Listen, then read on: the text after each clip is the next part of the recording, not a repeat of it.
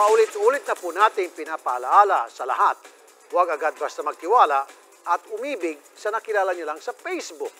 Magsilbi sanang babala itong kwento ng kasambahay na naloko gamit lamang ang ilang litrato. Jake S. Atienza. Yan ang pakilala ng gwapong ito sa kasambahay na si Antoinette Anya Bieza sa Facebook. Paano po nakilala itong si Sa Gwapo. Facebook. So ano po yung unang pasok niya sa inyo? Magkaibigan pa po kami noon. Naligaw siya after a month. Nung makatapos ng isang buwan ng panliligaw, nahulog po yung loob niyo sa kanya. Opo. Habang magkarelasyon sina Jake at Antoinette sa Facebook, biglang naging balang mundo ni Antoinette. Bigla na lang daw kasing sinabi ni Jake na mayroon na siyang matinding karamdaman sa utak. Sabay, padala ng litratong ito bilang ebidensya. May cancer daw siya. Kailangan daw niya magpagamot. Dito na raw nagsimula ang sunod-sunod na pangungutang ni Jake para sa pagpapa-hospital daw niya. Una, 10,000 piso. Nasundan pa ito ng 22,000 pesos. Pagkatapos ay 12,000 pesos. May inutang pa raw na 18,000 pesos si Jake para naman daw hindi na sila guguluhin ng kanyang ex-girlfriend.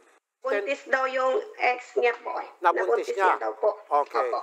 Dito, tumanggi naman daw si Antoinette na magpautang dahil kasambahay lang siya. Pero ginawan pa rin daw niya ng paraan dahil mahal daw niya ito. At wala naman daw problema sa pagbabayad sapagkat may negosyo daw ang kanyang mga magulang.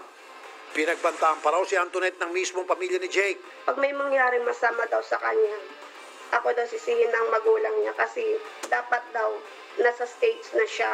Pero hindi daw siya sumama dahil sa akin po. Saan niyo po kinuha yung mga perang yung pambigay sa kanya?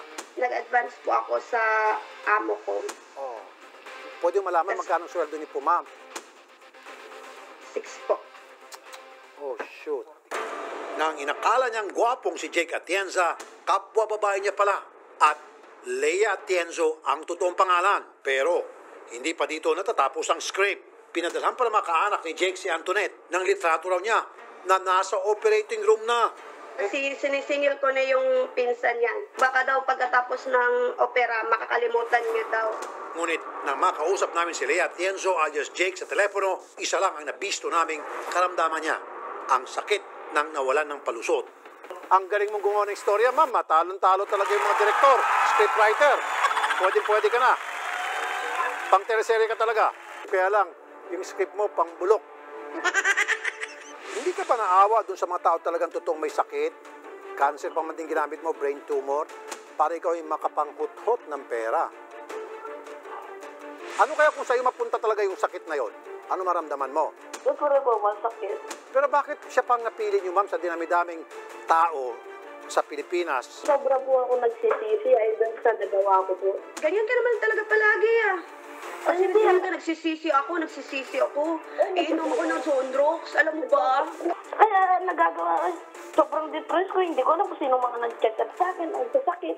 Para tuluyan na itong matuldukan, nilakad na namin na magkita silang dalawa sa barangay ngayong linggo upang magkabayaran. Magkano ang una mo kayang ibigay? Hindi pa po alam. Ay, hindi pwede. Magkano po, ma'am Antoinette, ang gusto mong down payment niya? 50.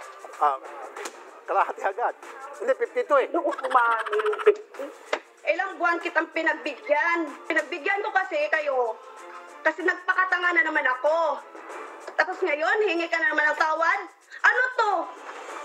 Grabe ka naman, Jake. Di ka nga naawa sa akin? Alam mo, naawa ko sa iyo. Ing-ing mo. So nga si Kasambay, gumawa ng remedyo ng utang sa amo. Mangutang ka dahil kapag hindi mo nagawa yan by Friday, sasama namin siya pumunta sa korte para magsampa ng kaso sa iyong estapa. Okay, sige po. Mag-iirap po ako. Good.